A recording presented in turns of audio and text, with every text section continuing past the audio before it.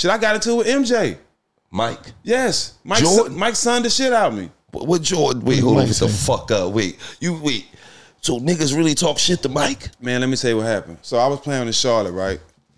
Um, this is before you know the first year I got there. We got to the playoffs for the first time, and it, so MJ loved me for that alone. Right. But when I first got there, it was kind of rocky. You know what I'm saying? I just got traded there, so we got our ass beat by somebody, and uh, he came in the locker room after the game, just going off on us like we need to get our shit together, right?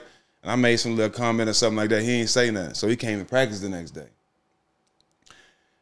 back on that shit. Mm. Yeah, y'all think y'all did something? I'm six. Oh, he started talking about all his accolades. Take my shoes off because you know he had gave me. His, you know what I'm saying he wasn't just talking to me. He was talking because everybody had his shoes off. But he had gave me a deal and all that. Yeah. this shit kind of directed to me and Gerald Wallace because Yeah. we, the, we the leaders of the team. Yeah. you know what I'm saying. Yeah. so he going off. Going Mike told off. you take his fucking shoes off. his- Damn, near. You know what I'm saying? Look at all the all shit I done done. Y'all went to I'm just going off on us right to the point where he gets on the second team in practice. And we lose. You lying. You ain't losing 50 year old Mike Mike. suited up. How old was Mike? Listen, listen. This was nigga, this was in 2010.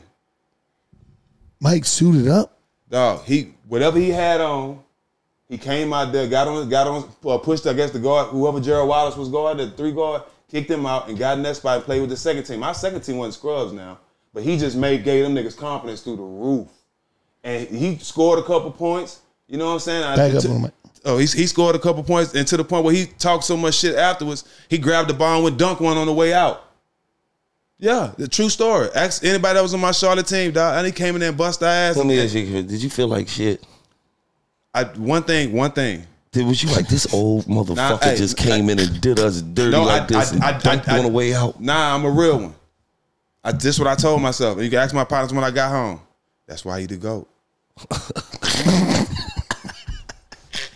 That's why I'm Hey, wearing the shoes. Hey, he, he Mike had to come in. See the, the, the fire nigga from Port Arthur. Mike came in there talking crazy. He want mama on this motherfucker out of here over here. That shit mm, washed up now, nigga. I know what you said. You washed up now. I don't want to hear Mm-hmm. I that thought shit we over had here. him. Mike show up the next day. Take my fucking shoes off, nigga. Hey. You niggas don't deserve to play in my shit. Hey. You niggas deserve Damn, Mike. to play in something else. Fuck off my. Get out. I'm in. And then one. Hey, but but let me tell you what's crazy though. That's What's cra- let me tell you what's crazy though. We went on a run. I had one of the best years of my career after that. We made the playoffs, all that. We had we finished the league, number one defense in the league. Mm. You know what I'm saying? From that moment on, we took off. So he knew what he was doing. Yeah. You know what I'm saying? So it's more reason from basketball from him being the GOAT. You know what I'm saying? He knew how to get to us. He told y'all niggas, y'all can't guard me, nigga. I'm 51. And we turned up after that. They like, damn, our defense ain't shit. Mm-hmm. That's crazy, man. That's a hell of a joint, man. Facts. I ain't never heard Mike came in the locker room cooked you niggas. Who was who was y'all starting five? Uh, me, Raymond Felton, Gerald Wallace, Boris Diaw, and uh, Tyson Chandler or um uh I think that was the starting five. Man, man, shout out to all the niggas that got cooked by a 51 year old Mike. Yeah, we got cooked. We got cooked. Fuck Him y'all and, up. him and uh, DJ Augustin was going to work on us.